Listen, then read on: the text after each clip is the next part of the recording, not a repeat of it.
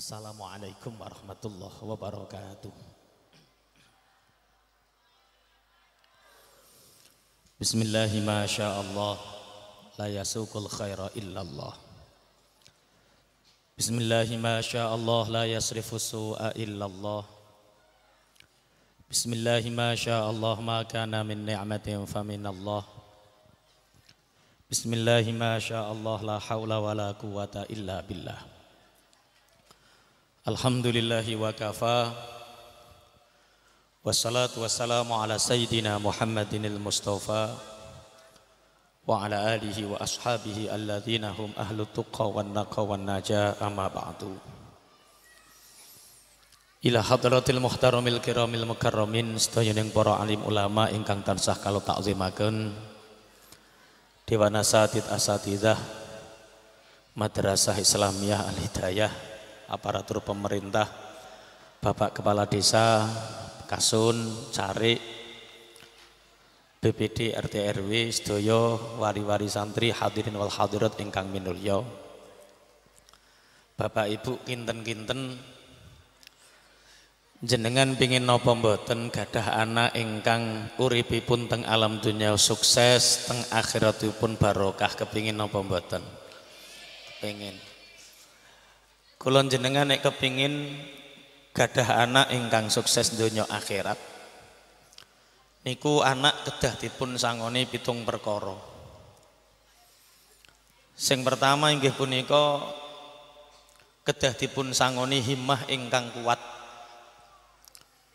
Himmatur rijal tuhdi muljibal.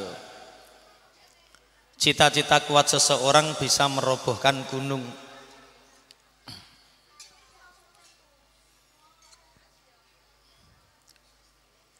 Iki wis apik-apik meneng tambah buka jajan iki piye lah Kak. Nggih, pun pun nduk meneng dhisik nduk, meneng dhisik nduk.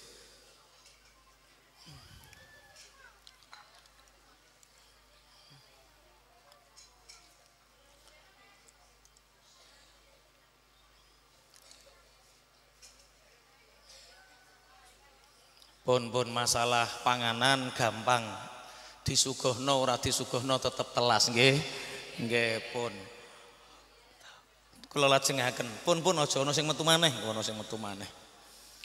Nek kula jenengan kepingin duwe anak ingkang barokah solih solihah donya akhirat siji kudu disangoni himmah ingkang kuat. Himmah niku napa? Harapan cita-cita.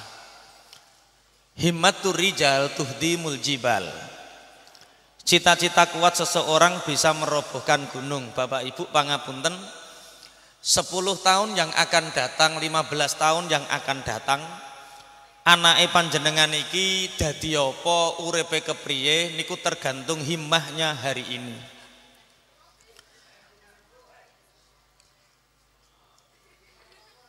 Nggih. Teng pundi-pundi nek masalah panganan ya umyekar PDW. Eh pun, pun kula lajengaken nggih nggih. Tiang niku iso urip petang puluh dina nek mboten dahar. Tiang niku saged bertahan hidup pitung dinten nek mboten ngunjuk mundhen nginum. Tapi manusia tidak akan pernah bisa bertahan hidup satu detik pun nek tiang niku mboten gadah cita-cita dan harapan. Mulane kok tasik urip ngantos sak mangke niku berarti tasik gadah-gadah cita-cita dan harapan.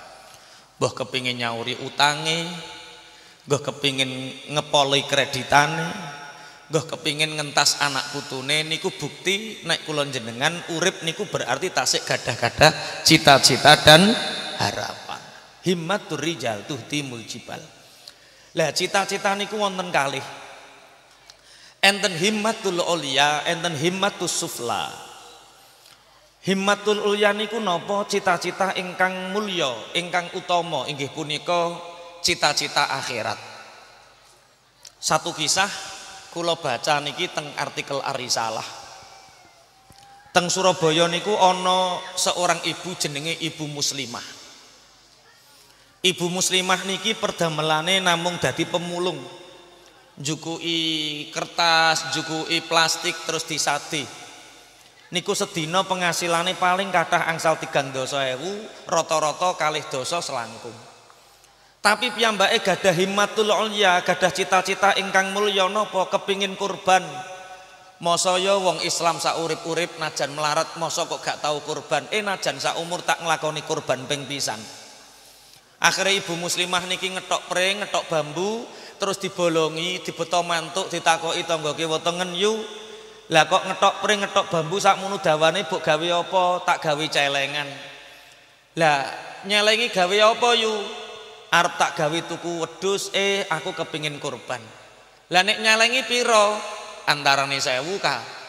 Nek duwe puluh hewu ya nyelengi sewu, nek duwe telung puluh hewu nyelengi rong hewu. Tangga kiwa tengen padha muni ngono ki sok apaan genepe iso tuku wedhus. Ternyata dereng genep kalih taun celengan iki dipecel, dipendet duwite angsal duit sak juta pitung atus. Alhamdulillah empun angsal tumbas wedus didamel kurban. Tonggone sing tukak takok lah so apan ngantos sak mangke nggih dereng kurban. Himmatur rijal tuhdimul jibal. Cita-cita kuat seseorang bisa merobohkan gunung. Kalau nanti dicerita ceritani rencang kulo jenenge Mas Galunggung tiang Bandung. Mas Galunggung niki suatu saat daftar haji teng Kemenak Bandung. Tengeriku enten tiang jaler pakaiannya nggih mboten patek saya tapi teng kantor kemenak ditangkleti bapak namanya siapa? Saya Bambang mas. Pak Bambang niki perlu nopo kok teng kantor meriki daftar haji? Alhamdulillah. Lah Pak Bambang perdamale nopo kok daftar haji? Kulo niki tukang becak mas bagaimana mungkin seorang tukang becak iso daftar haji Pak Bambang niki jawab mas Kulo kangen Ka'bah niku pun 14 tahun. 14 tahun niki kulo nyelengi Mas nek duwe duit 50.000 tak celengno 10.000. Nek duwe duit 30.000 tak celengno 5.000 terus sampai 14 tahun celengan niki kulo buka ternyata pun angsal 20 juta. Lah niki kulo daftarne binjing pelunasane pripun Mas kulo nggih mboten ngertos. Terus rencang kulo Mas Galunggung pun Pak Bambang mboten sah kuatir pelunasane kulo sing tanggung jawab. Himmatur rijal tuhdimul jibal. Cita-cita kuat seseorang bisa merobohkan gunung. Bapak Ibu jenengan pun nyelengi nopo ngantos sak mangke. Nyelengi utang, nyelengi utang. Kula gadah santri santri kula mboten kathah kados ngeten niki. Nggih nek sak meniki sami padha-padha 300 e. Enten santri niku sing telu niku tunanetra. Tunanetra niku mboten ningali kawit alit. Tapi setiap hari lari tunanetra niki ngapal Quran setiap hari niku nyelengi. Setor tengkulo niku 4 ayat sampai 12 ayat. Ternyata 4 tahun nyelengi petang ayat sampai rolas ayat niki nyebab nelare wuto niki alhamdulillah sempurna telung juz niku khatam Al-Quran. Hafal. Kulon jenengan pangapunten sing mripate normal sing mripate saged ningali kira-kira jenengan pun nyalengi Quran pinten juz?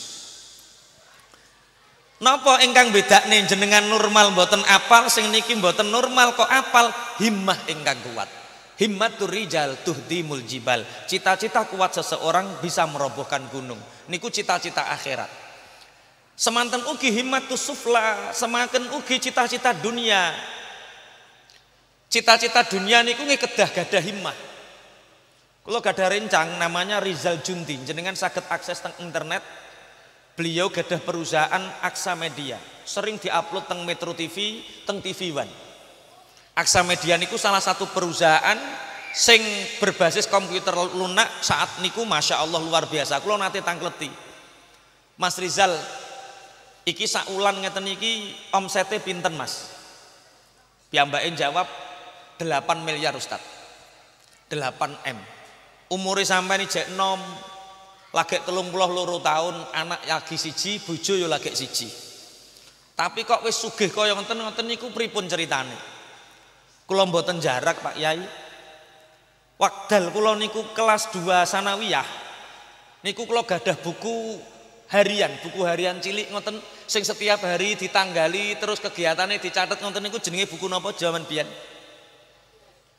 buku buku harian cilik ngoten niku buku napa? Orang yang sing duwe buku harian ki berarti. Eh? Buku ATM. Kok iso teko ATM Mboten kegiatan-kegiatan harian ngoten niku lho. Yes pokoknya jurnal sak piturute. Ngoten niku tak catet. Aku saiki kelas lulus sanawiyah. Lulus sanawiyah aku ngarep ngelanjutke ning aliyah karo mondok. Sakwise lulus aliyah aku arep mondok karo kuliah ning UIN Malang. Tahun niki aku arep nget, nikah ngedekno perusahaan dan lain sebagainya. Ternyata apa sing tak catet niku Ustadz teng buku harian niku mulai kelas loro sanawiyah sampai sak mangke niku ternyata akeh sing wujud tinimbang nih. Kalau ditangkleti apakah ada keterkaitan? Tak jawab. Mas, orang-orang Yahudi zaman biyen niku nek kepingin donga niku lunga ning Palestina ning kono ana tembok ratapan. Wong Yahudi, wong Nasrani nek kepingin catetane mandi lunga ning Palestina teng tembok ratapan niku piyambake nyatet terus sirahe ditemplekne teng tembok niku terus donga. Ternyata sing ditemplek niku, sing dicatat teng tembok ratapan niku diijabah oleh Allah. Hari ini kulon jenengan Bapak Ibu gadah tembok ratapan modern, gadah tembok ratapan gaya baru. Jenenge status Facebook karo status WA. Niku sing dicatat teng riku, niku padha karo donga. Kok ana wong wedok mama-mama rempong niku senengane nyatet cocote tangga bujat kabeh. Maka 10 tahun urepe ya muk nyocoti tangga ae. Tahun urepe ya muk ngrasani tangga ae. Perkara napa sing dicatet ngoten niku. Pun pun Allahumma sholli ala Muhammad. Himmatur rijal tuhdimul jibal. Cita-cita kuat seseorang bisa merobohkan gunung. Pangapunten niki ketingale kata